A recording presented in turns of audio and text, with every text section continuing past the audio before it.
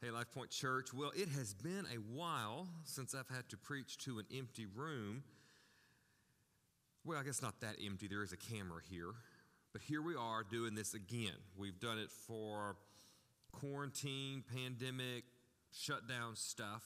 We did it for a hurricane evacuation. I have to be honest with you, I was not expecting having to do it for a, a winter snow freezing ice storm uh, hitting southeast Texas. Uh, I hope you're all doing well and staying warm. We are about to see some weather that we're not real accustomed to here in southeast Texas. Also, let me say happy Valentine's Day. I, I am sure that this is not how you wanted to spend your Valentine's Day, but I pray that you feel loved today, and those that you love, I hope you will let them know how you feel about them.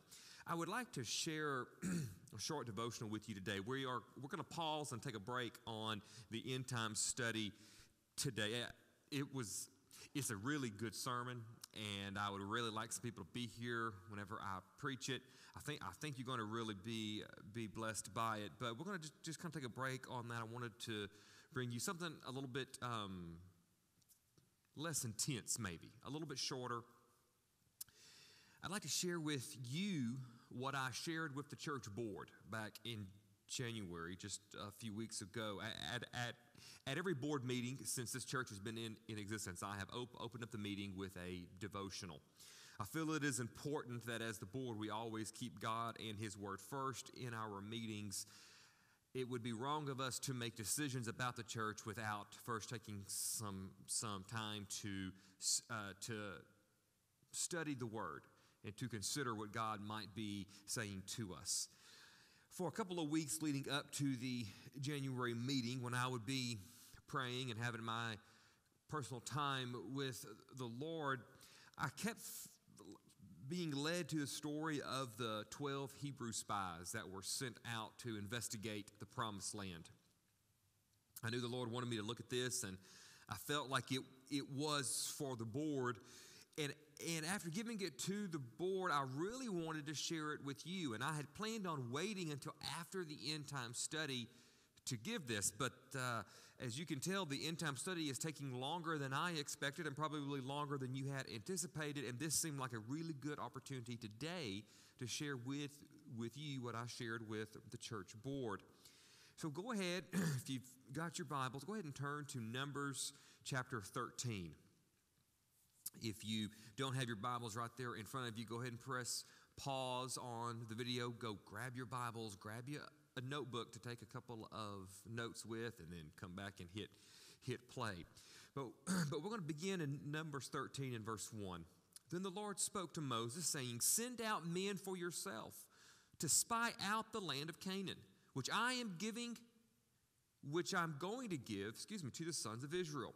You shall send a man from each of their fathers' tribes, every one a leader among them. Now, I want you to notice three important things from this passage. Number one, the Lord said to send out the spies. Sending out the spies was God's idea, it, it wasn't Moses' idea.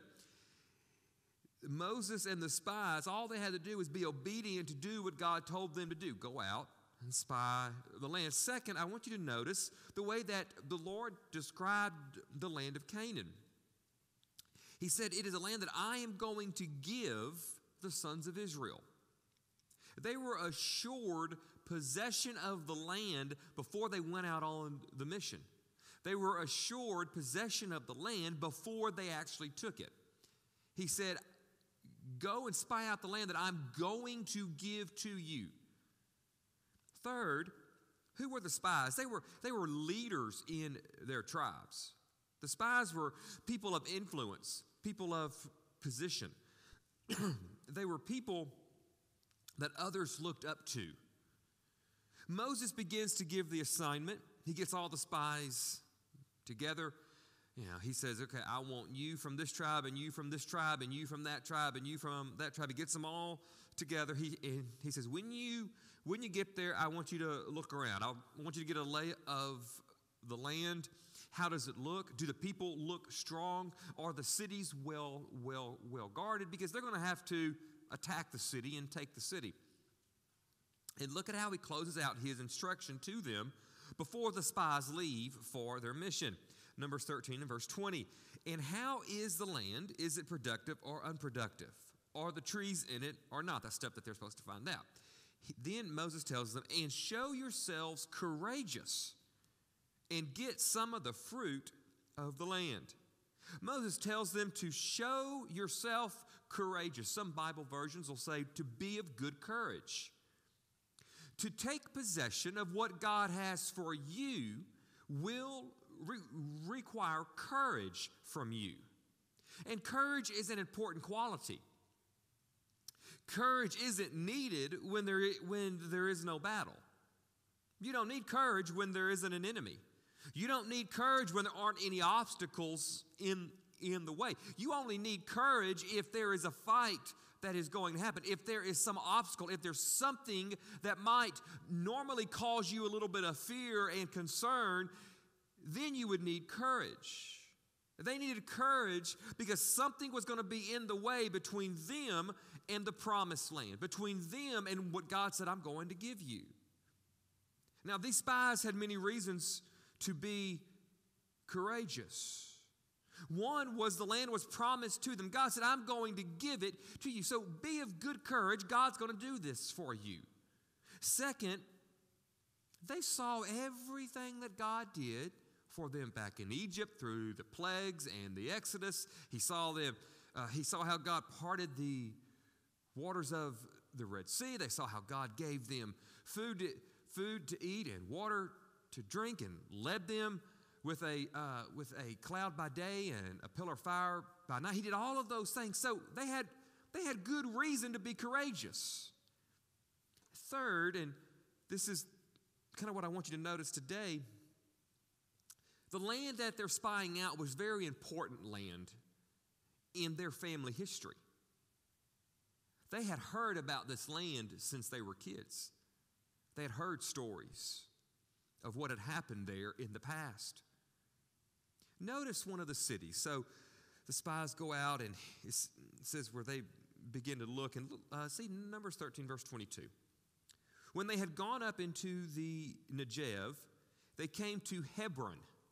There's a city. They, they came to Hebron, where Ahiman, Sheshai, and Talmai, the, the descendants of Anak, were. Hebron was built seven years before Zoan in Egypt. Now, now, now we're going to talk about Anak here in a couple of minutes. But notice that they came to Hebron. Hebron is a very important place in Jewish history. A lot of great things happened in Hebron. Let me tell you about a few of them. Abram and Lot go way back in time. Abram and Lot, they've, they've left home and they're going where God is telling them to go. And they get to this place, and Abram and Lot have a choice. And Lot's family can live in one place, and Abram's family can live in one place. And Abram, being the leader of the family, he says, Lot, I'm going to let you make the choice first. You can, you can choose first. And so he looked over all the land and he took what he thought was the best land. And Abram is left with what is second best, according to he and Lot. Genesis 13, starting verse 14. The Lord said to Abram, after Lot had separated from him, Now raise your eyes and look from the place where you are, northward and southward, eastward and westward. For all the land which you see, I will give to you and to your descendants forever. And I will make your descendants as plentiful as the dust of the earth, so that if anyone can count the dust of the earth, then your descendants could also be counted. Arise, walk about in the land through its length and width, for I will give it to you. Verse 18 Then Abram moved his tent and came and lived by the oaks of Mamre, which are in Hebron. And there he built an altar to the Lord. Abram has promised all of this land, he's promised great descendants. and Abram sets up camp in Hebron by the oaks of Mamre. And he builds an altar there. He wanted this place to be remembered as the place where God had made a promise about land. He said, This land is going to be yours as far as your eye can see. I wonder if the spies, all those years later, if when they're spying out Hebron, if they noticed the altar that Abram had built. I wonder if they saw the oaks of Mamre and thought about the stories that maybe they heard as they were growing up. Fast forward a few years in Abram's life, and eventually he becomes Abraham. And Abraham is sitting outside of his tent, and the Lord appears to him. The Lord comes down in human form, he and two angels. And now, I understand that at this time in Abraham's life, he and Sarah still do not have a child together. Sarah is barren and unable to have children. Now, Abraham knows that he has been promised plentiful descendants, as, as many as the, as the dust of the earth. So it's hard to see how the promise of many descendants can be fulfilled if he and Sarah can't have children. So years later, he's sitting outside of his tent, and the Lord shows up. Genesis 18, starting verse 1. Now the Lord appeared to Abraham by the oaks of Mamre while he was sitting at the tent door in the heat of the day. When he raised his eyes and looked, behold, three men were standing opposite him. Fast forward to verse 10. This is, and the Lord says, I will certainly return to you at this time next year. And behold, your wife Sarah will have a son. And this is that famous part of the story where, where Sarah's in the tent. She hears all of this and she laughs to herself. Oh, how funny. How, how ridiculous. I'm going to have a son. Hebron was not only the place where he had the promise of land, Hebron was the place where he had the promise of descendants. Hebron, Hebron was the place where Abram met the Lord and two angels. Hebron was the place where Isaac was promised to be born. Hebron was the place where the, where the Lord showed up and spoke a promise. I wonder if the spies recalled that when they spied out to the land of Hebron. One more bit of history. Abraham had already purchased a portion of Hebron. So when the spies are out there looking at Hebron, part of that already belonged to their family. Genesis 23, starting verse 19. After this, Abraham buried his wife Sarah in the cave of the field of Machpelah, facing Mamre, that is Hebron, in the land of Canaan. So the field and the cave that was in it were deeded over to Abraham for a burial site by the sons of Heth. Abraham bought the land from, from the sons of Heth. He wanted a place to bury Sarah. And they sold him a portion near the oaks of Mamre in Hebron. This site remained in the family for generations. Jacob, who later becomes Israel, Abraham's grandson Jacob, is about to die. And I want you to listen to the instructions that he gives his, his family. Genesis 49 and verse 30. He says, Bury me in the cave that is in the field of Machpelah, which is opposite Mamre, in the land of Canaan, which Abraham bought along with the field from Ephron the Hittite as a burial site. There they buried Abraham and his wife Sarah. There they buried Isaac and his wife Rebekah. And there I, I buried Leah. So I wonder if when the spies got to Hebron and they began to spy out the land, did they notice the burial place? Did they find the cave that was in the field of Machpelah? Opposite Mamre? Did they, did they see the burial place where the remains of Abraham, Sarah, Isaac, Rebekah, Leah, and Jacob were? The patriarchs and the matriarchs of Israel. Did they, did they find that when they spied out the land? This is the land that they were to spy out. This is the land that God was going to give to them. It was a land that had been promised to Abraham generations before, and it was a, in, in a portion of the land that Abraham had already purchased. Be of good courage and receive what God has said he will do. So the spies go out and they see the land. As they arrive back, Moses gathers all of the people to hear the spies report. Everyone's excited. What are the spies going to say? Numbers 13, pick, pick the story back up in verse 27. So they reported to him and said, We came into the land where you sent us, and this certainly does flow with milk and honey, and this is its fruit. Nevertheless, the people who live in the land are strong, and the cities are fortified and very large. And indeed, we saw the descendants of Anak there. Yeah, they told them how great the land was. They even showed them the amazing fruit that they brought back. But they said that the cities are strong and fortified, and the descendants of Anak are there. Now, who are the descendants of Anak? These spies are going to elaborate on that. Look at verse 31, Numbers 13, verse 31. But the men who had gone up with him said, We are not able to go up against the people because they are too strong for us. So they brought a bad report of the land which they had spied out to the sons of Israel, saying, The land through which we have gone to spy out is a land that devours its inhabitants. And all the people whom we saw in it are people of great stature. We also saw the Nephilim there. The sons of Anak are part of the Nephilim.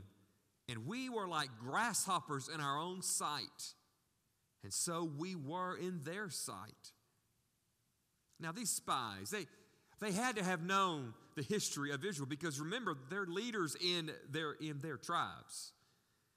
They knew what God had done in the past for them in Egypt, in the Exodus, and all the way through. They knew what God had done for their ancestors. They knew that God had promised the land to them. They knew how great and how blessed the land was. They even had the fruit that they brought back to prove it. Yet, they gave a bad report. They were men of fear and not of courage. They saw the giants and said, We are too small and they are too big. We're like grasshoppers in our own eyes. You see, they had more faith in their small stature than they did in God's promise and God's ability to bring about God's promise. You need, to, you, you need to see what happened next because remember, they're giving this report not just to Moses, but to the whole congregation. The whole nation's there. All the people have shown up to hear them give this bad report. The very next verse, Numbers 14, verse 1. Then all the congregation raised their voices and cried out, and the people wept that night. And all the sons of Israel grumbled against Moses and Aaron. And the entire congregation said to them, If only we had died in the land of Egypt, or even if we had died in this wilderness. So why is the Lord bringing us into this land to fall by the sword? Our wives and our little ones will become plunder. Would it not be better for us to return to Egypt? So they said to one another, Let's appoint a leader and return to Egypt. All the people heard the negative report and they believed it. All the people heard the impossibility and they believed it. They were ready to turn on Moses and Aaron and God. They were ready to go back to bondage. Fear had so gripped them that they forgot what God had done and they were ready to give it all up. Ladies and gentlemen, don't, don't let the giant standing between you and the promise of God cause you to lose faith in God. Now, of the 12 spies, there were two that saw things differently. Numbers 13 and verse 30 Then Caleb quieted the people before Moses and said, We should by all means go up and take possession of it, for we will certainly prevail over it. Oh, to be a man like Caleb, to have that kind of faith. Numbers 14, starting verse 6. And Joshua, the son of Nun, and Caleb, the son of Jephunneh, of those who spied out the land, tore their clothes. They spoke to all the congregation of the sons of Israel, saying, The land which we passed through to spy out is an exceedingly good land. If the Lord is pleased with us, then he will bring us into this land and give it to us, a land which flows with milk and honey. Only do not rebel against the Lord, and do not fear the people of the land, for they will be our prey. Their protection is gone from them, and the Lord is with us. Do not fear them. If you continue to read in Numbers 14, you'll find that the, that the people of Israel were ready to stone them for saying this. Caleb and Joshua were different. They had faith, they had courage. They saw the same land, they saw the, the same people, they saw the same giants, they saw the, the same tall Anaks, they saw the same fortified cities, but they never forgot who they were and who their God was and what He had promised to do. So, what obstacles are you facing today? What giant is staring you down? What is between you and the promise of God? What is standing between you and your destiny? You need to see God's response to the spies and to the people. Numbers 14, verse 29. Your dead bodies will fall in this wilderness. All your numbered men, according to your complete number, from 20 years old and upward, who have grumbled against me, by no means will you come into the land where I swore to settle you, except for Caleb, the son of Jephunneh, and Joshua, the son of Nun. Because of fear, many of those people never saw what God had said they could have. Because of faith, Caleb and Joshua entered the land. I ask you today, where is your faith? Who or what is the object of your faith? Are you more certain of the impossibility before you? Or of the power of the God you serve. Can God still accomplish his purpose for you, or are the giants too big and you're too small? Hebrews 11, verse 6 Without faith, it is impossible to please him. For the one who comes to God must believe that he exists and that he proves to be one who rewards those who seek him. I want to encourage you today choose faith over fear. Let me ask you another question. Are you like the 10 spies telling others there's no way God can do it for them? Are you like the 10, the 10 spies who influenced others to doubt God, doubt His power, and cause fear and turmoil? You see, we should not only be people of faith, but we should be the people who encourage others to live by faith. Three take homes. Number one, God is a God of promise. All the way back to Abram, he had promised this land. And now they were ready to receive it. And upon, just before they sent out the spies, he renews the promise, the land that I am giving to the sons of Israel. So if you're living and breathing today, God has a promise for you. Number two, choose faith over fear. Choose to trust God. Choose to believe God. Yes, there are probably giants between you and your destiny. Yes, there is probably a battle to fight between you and getting to what God has for you. There is an obstacle to overcome, but be, a, but be of good courage. Show yourself courageous. God is with you. If He promised it, He'll get it to you. And number three, faith and fear are both contagious. Which one do you choose to spread today? If you would, please bow your heads. Father God, I thank you for every person watching this today. And God, I, I ask that you would give them boldness and hope and faith. Give them a, a resolve to hang on to you no matter the giant they may face. And God, the giants in our lives can have different names. It, it, can be a giant of sickness, it can be a giant of disease, it can be a giant of hurt, a giant of failure, it can be a giant of worry, a giant of anxiety, it can be a, a giant of unmet expectations, it can be a giant of unforgiveness. It, the giants are, have many names. But God, today I ask that you would cause your people to see you and your promise more than they see the giants standing between them and you. And may they today choose to trust you. And not only that, God, I ask that you would make us a positive people, an upbeat people, an encouraging people. That we would we would live lives of faith in such a way that it would encourage others to live a life of faith.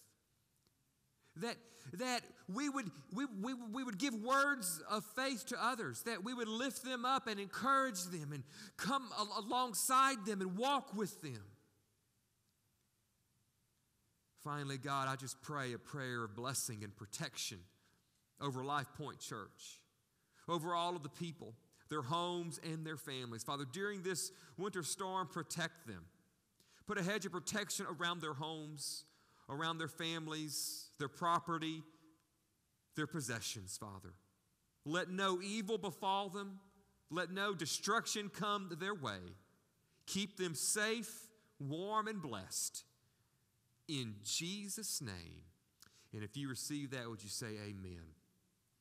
I am thankful for the opportunity to get to share this with you today. I, I am praying for you. I look forward to next weekend. We're gonna we're gonna get back into our end time study called Live Ready. We're gonna be we're gonna begin looking at the uh, seven churches listed in Re- Re- Revelation. It, phenomenal stuff. I'm really excited to share it with you. I love you. I'm praying for you. Can't wait to see you next weekend. God bless you. Have a great, safe, and warm week.